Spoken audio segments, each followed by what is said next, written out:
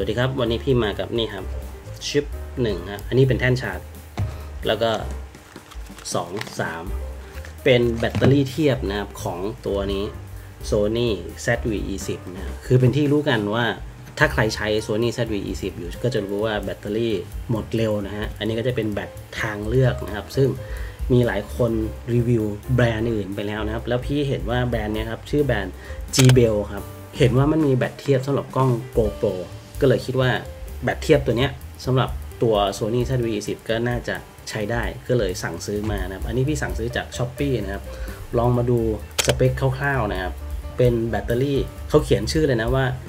NPFW50 เป็นแบตเตอรี่พร้อมแท่นชาร์จของ Sony นะครับ ก็ราคาอยู่ที่ 739 บาท ซึ่งเท่าที่เทียบมาแล้วก็ถูกกว่าแบรนด์อื่นนะครับ ถือว่าถูกสุดแล้ว ได้แบต2ก้อนนะครับนี่ ได้แบตมา 2 ก้อนแล้วก็พร้อมแท่นชาร์จ 1 แท่นนะครับลองมาดูคร่าวๆนะครับว่าเป็นยังไงบ้างเขาเขียนว่าเป็นของแท้ 100%รับประกัน 1 ปีนะครับ แล้วก็จัดส่งรวดเร็ว 24 ชั่วโมง แต่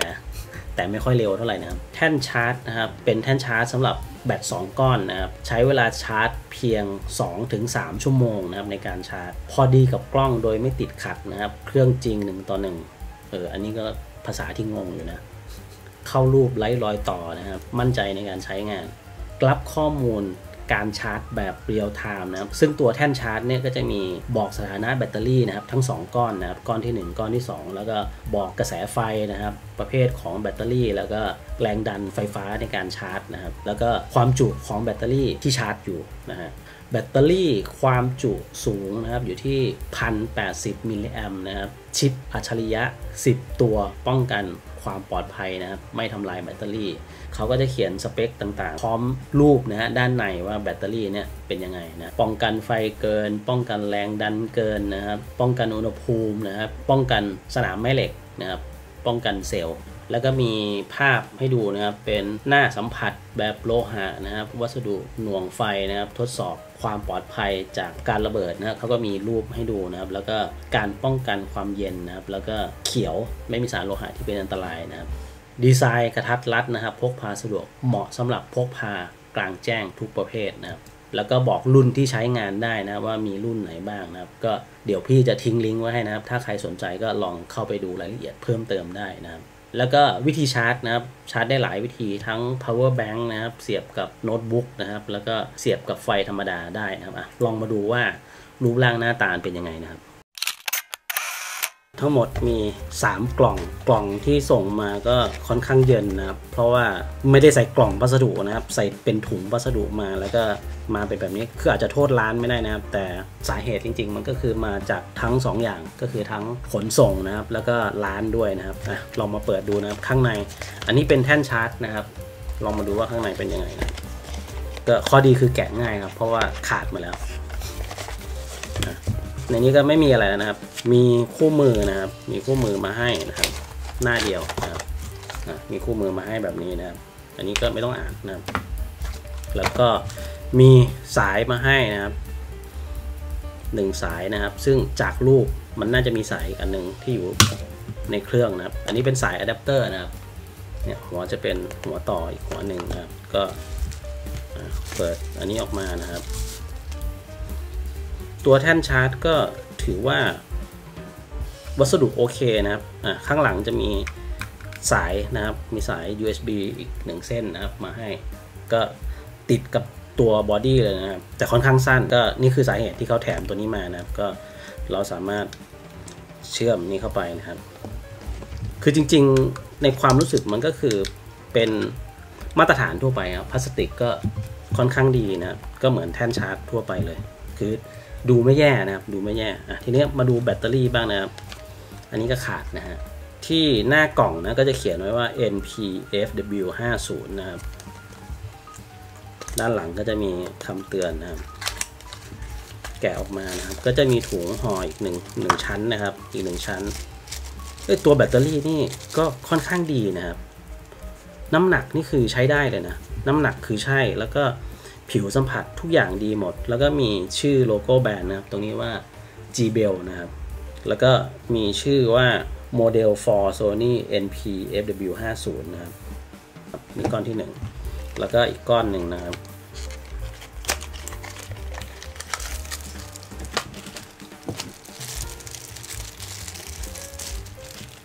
ก้อนที่ 2 เหมือนกันเลยนะครับ อืม ราคาทั้งเซตนี่อยู่ที่ 739 บาทนะครับ มีค่าส่ง 27 บาท รวมแล้วก็เป็น 766 บาทนะ ก็ถือว่าโอเคนะ ลองถอดตัวนี่นะครับ จาก ZVE 10 นะฮะมาให้ดูว่าแตกต่างกันแค่ไหนนะครับ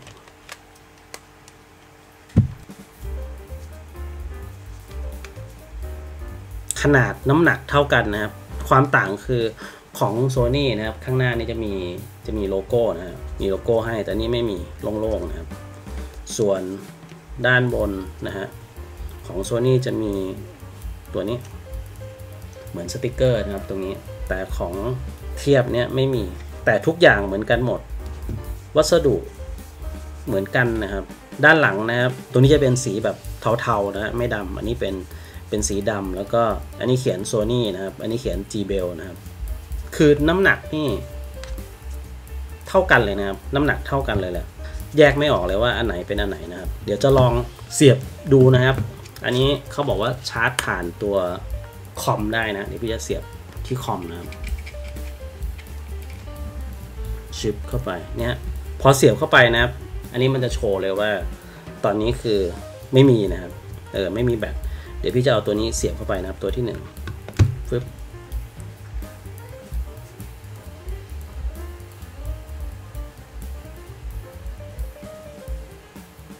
อันนี้ก็จะโชว์ว่า Channel 1 นะครับ เหมือนที่เขาบอกเลย Channel 1 นะครับ เราเสียบแบตที่ 1 เข้าไปนะครับ มันก็จะโชว์ว่า Channel 1 ว่า อันบนสุดก็จะเป็นกระแสไฟที่ชาร์จนะครับ อยู่ที่ 0.7 นะครับ แล้วก็บอกว่าเป็นแบตเตอรี่ลิเธียมไอออน แล้วก็บรรทัดที่ 2 เป็นแรงดันไฟฟ้านะครับ อยู่ที่ 8.4 โวลต์นะครับ แล้วก็อันข้างล่างสุดนะครับ เป็นความจุของแบตเตอรี่ที่ชาร์จ ตอนนี้ก็ 13 14 มิลลิแอมป์นะมันจะโชว์ขึ้นไปเรื่อยๆนะครับเดี๋ยวพี่จะลองใส่ตัวนี้นะครับอีกตัวหนึ่งตอนนี้มันก็จะโชว์ที่จอ LED นะครับ ก็จะเป็นแบบเรียลไทม์มันก็จะสลับไปมานะระหว่าง Channel 1 กับ Channel 2 นะครับ โชว์ว่าแบตแต่ละก้อนนะครับ ตอนนี้ความจุอยู่ที่เท่าไหร่นะครับ แบตก้อนที่ 1 เนี่ยเหลืออีกแค่ช่องเดียวนะครับ ก็ใกล้จะเต็มแล้ว มี 5 ช่องก็ช่องละ 20%นะครับ เดี๋ยวพี่จะลองใส่กล้องดูนะครับชึบ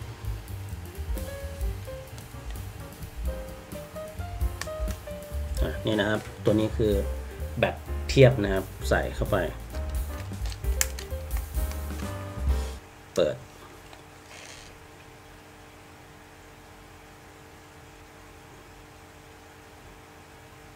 อะ โชว์เป็น 100%นะครับ เป็นไงบ้างครับ ถ้าหากใครสนใจก็ลองคลิกลิงก์เข้าไปดูได้นะครับ ถ้าใครอยากให้พี่ทดสอบหรือรีวิวอะไรนะครับ เกี่ยวกับเรื่องของการถ่ายภาพนะครับ ก็สามารถคอมเมนต์ไว้ได้นะครับ หรือเรื่องอื่นก็ได้นะครับ ก็สามารถคอมเมนต์ไว้ด้านล่างได้เลยนะครับ ถ้าชอบคลิปนี้ก็อย่าลืมฝากกดไลค์ กดแชร์ แล้วก็กด subscribe แล้วเจอกันใหม่คลิปหน้าสำหรับคลิปนี้ สวัสดีครับ